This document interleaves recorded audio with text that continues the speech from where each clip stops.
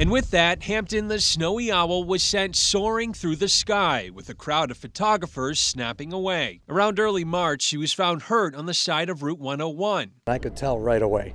You know, I knew something was wrong. Peter Gray was the one who came across Hampton. And I called Fish and Game, and they came down and tried to catch him, and they said, yeah, there's something wrong. And they were right. Hampton had lead poisoning, a hairline fracture in her wing, trauma to her head, as well as other injuries. She was brought to bird rehabilitator Jane Kelly. We treated her for her fractured wing and then gave her vitamin K, vitamin E, and you know, just let her build up strength and put on weight.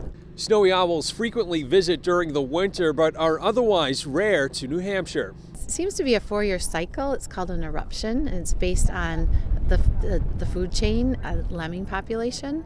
So, four years ago, we saw you know, an eruption of them and then they tapered off, and now we're seeing that wave again. As for this snowy owl, she'll likely take a breather in the marsh before she begins her journey north back home to the Arctic. An animal is in need of help, and uh, many people, you know, banded together, organizations, and word was out and looking, and uh, worked out good in the end. In Hampton Falls, I'm Tim Callery, WMUR News 9.